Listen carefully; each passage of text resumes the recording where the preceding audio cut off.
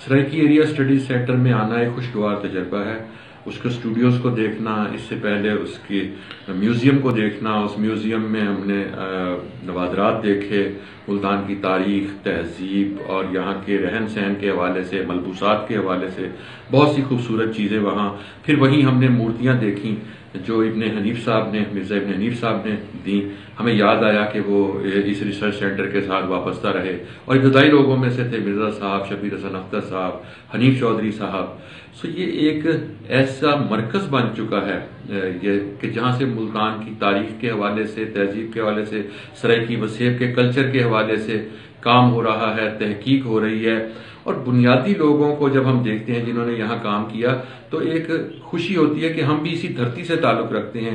इसी शहर और इसी की गलियों में हम खेल कर जवान हुए, यहीं पढ़े, इसी, यहीं हमारे उस्ताद हैं, यहीं से शायरी का सफ़र किया, तहकीक का सफ़र शुरू किया। तीन किताबें मेरी मुल्तान के हवाले से आ चुकी हैं, जिनमें रफ्तगान मुल्तान एक किताब है जिसमें हमने मरहूमिन का ज़िक्र किया, जिनके साथ हमारी यादें हैं, जिन्होंने इस शहर के लिए काम किया, जो इस शहर के हीरो हैं, फिर वाबस्तगान मुल्तान है। वो लोग जिनकी शहर के साथ वाबस्तगी है, मुल्तान के साथ वाबस्तगी है। उनके बारे में मैंने अपनी यादें कलम बंद की, जिनमें ज़िंदा लोगों को के मरहूमिन का एक किताब आई तो फिर एक ज़िंदा लोगों की भी। अगली किताब सुखन वरान मुल्तान लेकर आ रहा हूँ। वो इसी महीने, फरवरी के महीने में मंजर आम पर आ रही है। वो बुनियादी तौर पर एक तस्करा है और मेरे सामने एक मिसाल मौजूद थी दबिस्तान दबिस्तान मुल्तान की, जो सैयद मसूद काजमी साहब ने तहरीर की।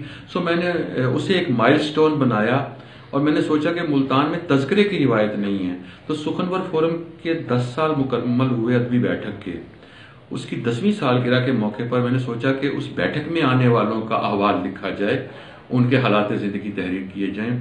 एक तस्करा महफूज कर लिया जाए आने वाले लोगों के लिए कि जब यहाँ इसी सेंटर में एम की क्लासेस शुरू हो रही हैं, तहकीक का काम शुरू हो रहा है तो वो तालब इलमों को जिक यूनिवर्सिटी के तालब इलमों को सराइकी एरिया स्टडी सेंटर के तालब इलमों को मुस्तबिल में अगर काम करना हो तो उन शख्सियात के बारे में उन्हें मालूम हम दे सकें।